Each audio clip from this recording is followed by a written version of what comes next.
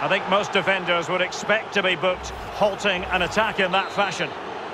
And that will mean a caution. Well, definitely yellow card, Derek.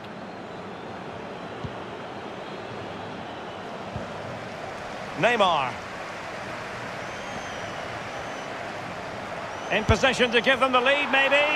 Oh, a goal! Can you believe what we're watching? It truly is